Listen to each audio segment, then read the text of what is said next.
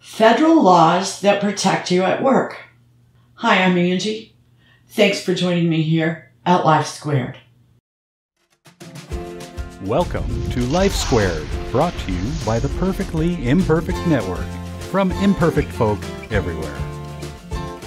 Federal laws that protect you at work. Now, these are U.S. laws. Most com- countries have similar laws.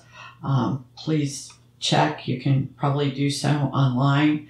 Uh, in the United States, there's also um, some slight differences among states, but these are the eight that federal law protects. There can be more depending upon what state you live in. Number one, minimum wage. There is a federal minimum wage. Um, there has been for many decades. So that's number one. Number two is workplace safety. And this is governed by OSHA. They will come out and check workplaces for safety, especially if you have too many um, claims for injuries. Number three is healthcare coverage. If there is more than 50 employees, this came about during Obamacare. Actually, um, this protection sort of got us less because companies began dropping spouses and other family members.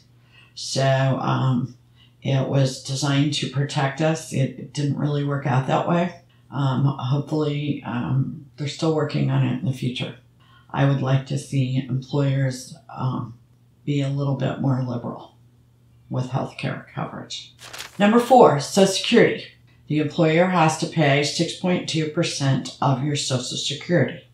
Number five, unemployment benefits. They have to pay unemployment insurance. And this is for um, if you lose your job through no fault of your own. That would be like getting laid off. That would be like the company shutting down. Um, something to that effect that was through no fault of your own. Number six, whistleblower protection. If you go and complain about a problem with you or somebody else or something that's going on at the business that is unfair, which um, uh, keeps the company out of compliance, which breaks the law, they cannot retaliate against you.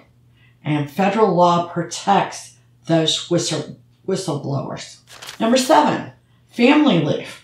12 weeks per year for birth or adoption. And that's if a company has 50 or more employees. And it also is for serious family illness. And I think a lot of companies are probably out of compliance with that. Number eight, employment based on discrimination.